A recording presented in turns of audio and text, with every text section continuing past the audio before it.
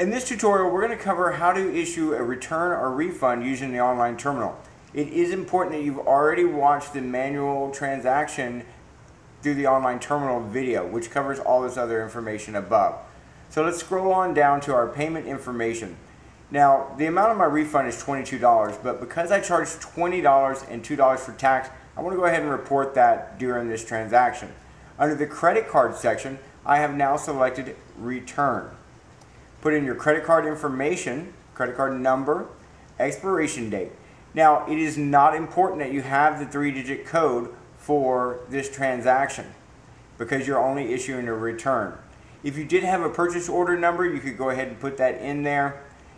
Also, a description for me, I went ahead and put in refund for services. Now, there are multiple ways of running returns on our system. This is through our online terminal. So once you have all that information, we're going to go ahead and select on submit transaction.